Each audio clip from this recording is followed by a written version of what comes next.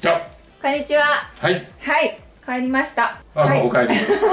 はい。緊急高木豊が分析ということで、はい、緊急動画ですか？そうなんだよ。あのツイッターとかでさ、うん。まあ DNA もう動画にしてよっていうさ、ね。まあ、リクエストもたくさんあったんで。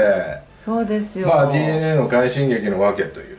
もうなんかね。すごいことになってますよ。勢いがな、うん。いやたださもう喋ることもないぐらいの勢いがあるというかさ。うん、だけども、うん。その快進撃には必ず訳があるでしょ、まあまあということでだよな、うん、豊さんが見るうん。今の DNA の強さの訳っうんていうのをちょっと紐解いていこうかなっていう緊急動画ですね、まあそうだね、うん。まあままずはホームで17連勝。すごい6月28日からうん。負けてないということ、あれほどなんかホームがどうのこうのとか日曜日が勝てないとかって言ってたのが。そうだからだけどその横浜スタジアムのさ、うん。ホームでん。17連勝っていうのはこれね結構奇跡的な数字なんだよね、過去のこの戦績とかさ、はい。い、ろいろ見るとね、うんこれ後で説明するけども、はい。まあ現在7連勝。はい。8月23日の時点でですね、まあそうだね、で3年ぶりという。7連勝が3年ぶり。そう。うん今日勝ってはい。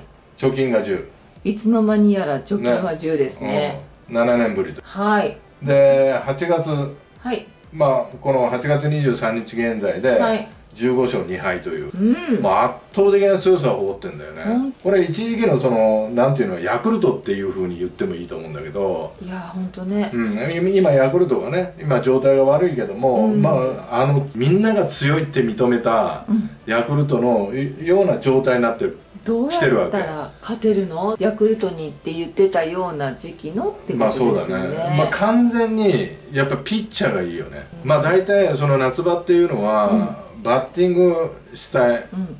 蛇行到底になるのに、うん逆になってるよね、うん。DNA は、うんうん今までたあの蓄積してしてきたものが一気に爆発してるのと、うん。やっぱその中継ぎのローテーションができるようになってきたという、うんうんで入江も良くなってきた、ね、山崎は復活する、うん。うんでまあエスコバー休ましても代わりに入江とかさ、で伊勢がいいはい。だからもうそういうことを考えるともう投手力っていうのはものすごく安定してるのとやっぱエースの今永。でエース同士で投げ合うんだよ。うん。で今永が今4連勝中なんだけどもさその中で青柳2回、うん。えー森下、うん。菅野。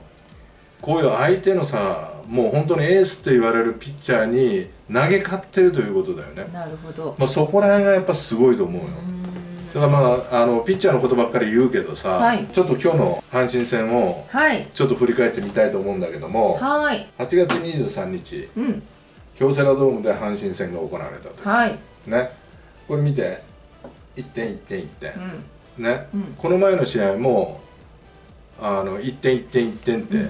京山のホームランがあり牧のホームランがあり。先にやっぱり点を取るということね、うん。でまあ初回上里がうん。青柳キラーなんだよ、なるほど。うん、で2番に入れた。はい。で5番に、えー楠本を入れてる。はい。外を外して。うん。で宮崎も外してるという、うんうんうんで青柳対策を講じてる。これは完全なるもう青柳対策ということですね。で初回にやっぱ上里に非常に相性が青柳にいいんで打たしに行くんだようね、ん。で一三塁を作り佐野のゲッツーの間うにん1点を簡単に取ってしまうという、んうんうんなるほど。うん。で青柳がやっぱこうなんていうの？状態を上げる前に仕留めていったと、うんでここは今永にタイムリーを打たれてると、まあこういうなんていうの？ゲッツー崩れ、うんピッチャうんー相手が締まったっていうことをねあのやるんだよね。嫌な感じですよね。嫌な感じの点の取られ方が。うん。まあ3点目を取り、うん。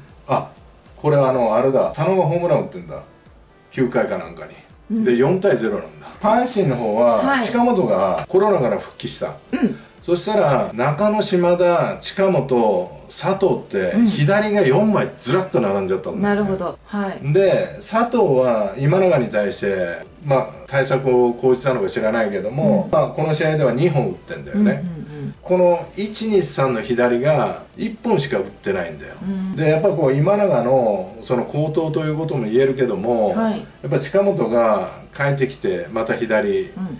でやっぱ近本が帰ってきたら使わなきゃしょうがないじゃない。うん。だからちょっと間が悪かったっちゃ間が悪かったよね例えいや俺はさやっぱ運みたいなのがあって近本が1日遅れてたら3番に多分右入れてたと思うんだよ、うんそしたら佐藤右と佐藤誰入れるか分かんないけど、はい。佐藤で機能してたかも分かんないよね、うん。なるほど。うん、だから近本も、まあ、あのゲーム感ということで言えば、うん。少しなかったね。うん。だからここら辺も幸いしてるんだよ。なるほど。だからやっぱこう17連勝すると7連勝するとか、うん。そういう間にはやっぱ運っていうのも必ずあるんだよね、うん。だからこの巡り合わせが少しちょっと悪かったかなという。ただ矢野監督は大したもんでさ、はいまあ青柳はもう5回までで100球投げ切ったから、はい。6回から継投に入るんだよね、うんうんうん。でもこれはね勝ちと勝ちパターンの投手を1枚も使わなかったということだよ。負けるにリスクを伴わなかったという。うんで d n a はこの試合絶対勝たなきゃいけないからリスクを伴うというかやっぱ勝ちパターンを惜しげもなく出す。これも当然なことなんだけどやっぱりね d n a に阪神が負けられないという焦りが出たとしたら、うん。指揮官がおそらくこっからうん。勝ちゲームの投手を多分投入する監督もいたと思うんだよね、はい。そういう意味ではこの負けっていうのはリスクを伴ってないから、うん。やっぱ阪神には不気味さが残るね。なるほど。やっぱ矢野監督のその肝の座り方っていう。う、ん。で監督の話をすれば、はやっぱね17連勝7連勝ってしてるうちに、うん。やっぱ三浦監督のやっぱこう才がうん。冴えがあるねまあ確かに青柳対策って言えば、うん。宮崎外を外す。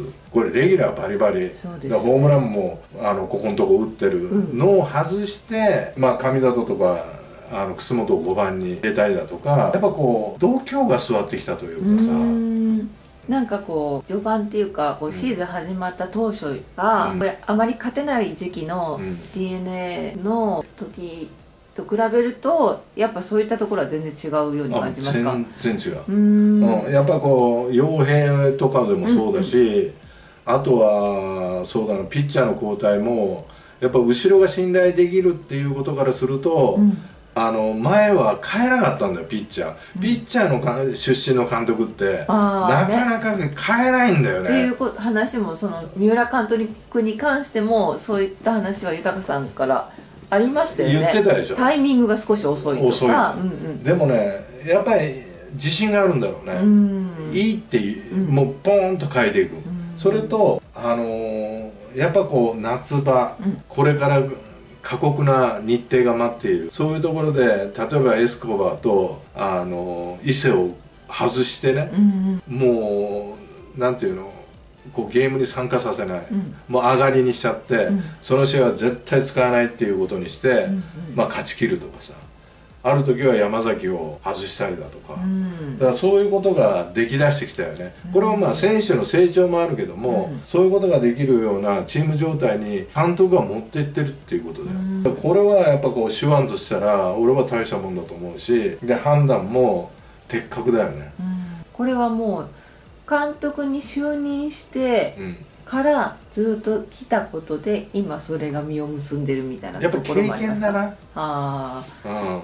最初全くダメだったのあもう何連敗みたいなのがなんでそこでそうするのみたいな。うんうん。いやでもね的確になってきた。なるほど。うん、やっぱねあのー今年からコーチが変わったりとかいろいろしたでしょ、うん。まあそういう助言とかもあると思うし、うんその助言の中から何かをチョイスしてるんだと思うけども、うん。でヘッドコーチの青山っていうのも、はい。側近としてす横にいてね、うん。すごく会話してるし、うん。まあ、そこら辺のその風通しっていうのもうん。すごくいいんだと思うよね。そうするとまあそういったあの首脳陣っていうかその部分でのうん。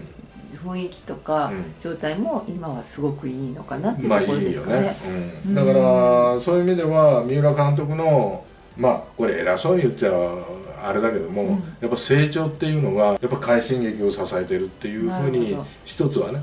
一つはその快進撃のいうわけの要素が、まあまあそうだね。監督のことですね、はい。だからあとはもう戦略とか戦術の部分になるんだけどもさ、はい。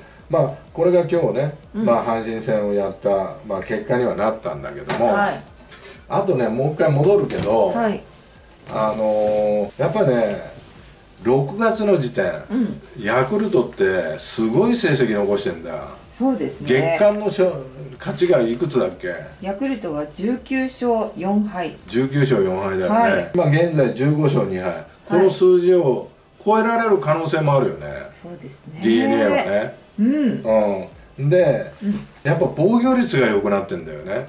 8月、一番そのあたりが違ってきてるところそうだね。のポイントですか、うん。うん。あの先発ピッチャーがの防御率ちょっと対比してね、はい。6月先発ピッチャーの防御率うん、3.93DNA d n a がね。はい。はい、今8月の時点8月これ昨日の時点になるんの時点ですけど、う2.69ん、うん、2.69ね、はい。これヤクルトがヤクルト先発3.74 3.74でしょ、はうん、でやっぱねヤクルトっていうのは快進撃の時にものすごく打ったんだよね6月に、うんうんでチーム打率も2割9分ぐらいあって。2割9分5厘ですねうん、の。でホームランも39本。はい。これもう圧倒的な爆発力があったんだけども、今現在で言えば、うん。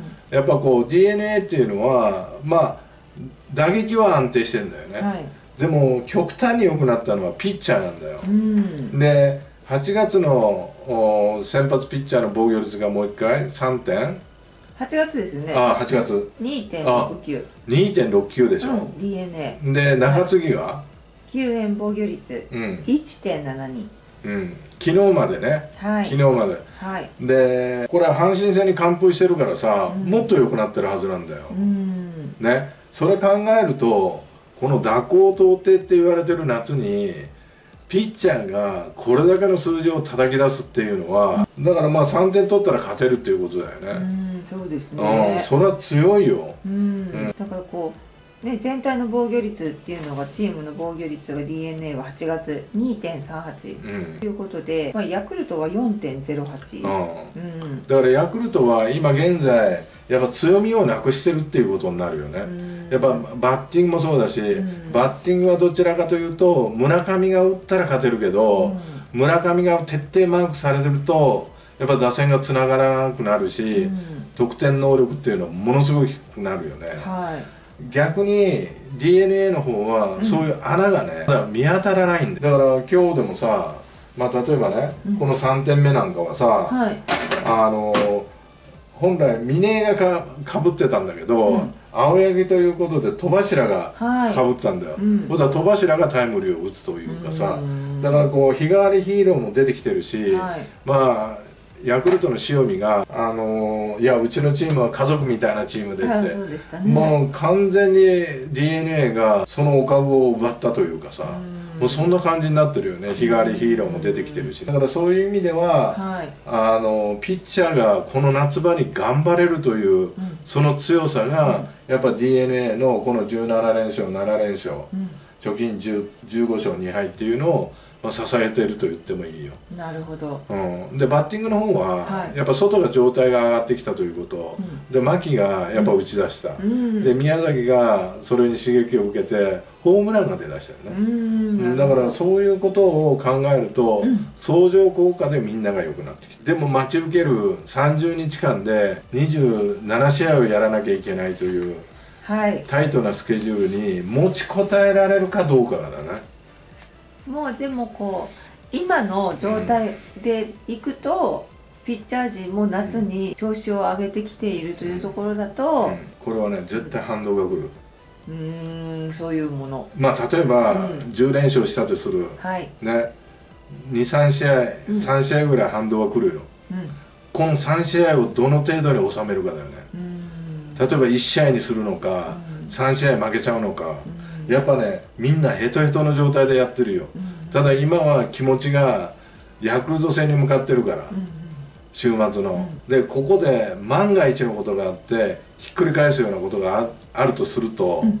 まあヤクヤクルトには申し訳ないけどね、まあそういう過程を作るとすると、うん。ものすごく心の張りができて、27連し7連戦が、これはこう勢いを持って戦えるよ。うんただヤクルトが d n a に叩かれるとするよね。あ、逆か、うん。d n a が叩かれるとするよね、はい。ヤクルトに、はい。でゲーム差が開いちゃった。うん。モチベーションはあるけど27試合をやらなきゃ消化しなきゃいけないというタイトなスケジュールが重くなる。だからなんで緊急で取ったかというと、はい。まあ阪神もまだその可能性があるんだよ、うん。優勝の可能性とかね、で直接対決をしてる、でまあ今日勝ったから d n a が、はい。まあ緊急に取ったんだけどもさ、うん。やっぱ週末にかけて d n a はどういう戦いをしながらヤクルトに挑んでいくかっていうことがさ、うん。やっぱり一番あの重要だから今ちょっと取ってみたんだけどもね、ん。そうするとこの今日の阪神戦明日明後日っていうふうに一試合一試合がこう進んでいくにつれてハラハラドキドキ。っうんいやそれはもちろんそうだよ。ていうことですようん、ね。そりゃそうだよ、うん。で阪神の方は、うん。青柳明日は多分伊藤だと思うんだけども、うん。あのーやっぱここで連敗しちゃうとやっぱずるずるとちょっと落ちるよね。だから一騎打ちになってくると思うよ。ヤクルトと d n a が。うん。うん、さあね、いつの間にやらもうね、うん、ゲーム差は4ですか？今現在ね。ねヤクルト今日あ昨日負けてたんだけどさ、村上の逆転スリーラン。やっぱすごいね村上は、ねあいやだから村上を徹底マークだよ、うん。うん、打たさない。うん。振らさない。うん。そういう策ができるかどうかだよ。まあ今の時点でもうん。各球団村上選手はマークしていて対策はしていると思うんですけどそれでもこういう結果がついてくるってすごいですよね。だからもう極端な話すると、まあ、ランナー一二塁、ね、村上、うんツーアウト、うん。歩かしてもいいよ申告敬遠、うん。満塁にしてもいいから村上を避けるというようなうん手段を取る試合が出てくると思うよ、それをやらなきゃいけない試合が、もうこの村上選手の調子っていうのはある程度はもう落ちてはいかない。もう落ちていかない、落ちてはいかないし、うん。だから村上を迎える前に一塁を開けるような策を取っとかなきゃいけない、なるほど。でもうそしたらもう申告敬遠するうと、ん。まあ、一二塁から申告敬遠してそれが痛手になったとしたら、うん。もう叩かれるけど、うん。叩かれてもいい。これは仕方ない、それぐらいリスクそをう。背負ってやらないとうん。対策が取れないっていうだからそこを抜けないとうん勝てないかもわかんないよね、うん。だからそのぐらいの根性を持って d n a は戦ってほしいなという。はい、であとは投手陣がいいからね、うんうん。やっぱ真っ向勝負でもいいよ。うん。でもこれはいかんと。言った時にそういう作戦、うん。戦略、まあそういうことを考えてもいいよね。うんなるほど、まあ分析にしてはうん。まだまだ先があるから、はい。もっともっとあの楽しい分析ができると思うけども、はい。まあツイッターとかでねうん「えー、さん YouTube 動画にしてくださいよ」っていう声が多かったんで、はい。まあ、ちょっと動画にしましたけども、はい。またこうまだまだね、うん。楽しませてくれるんだったらもっともっと DNA の動画も撮っていきたいと思います。はい。ありがとうございました。はい。頑張ってね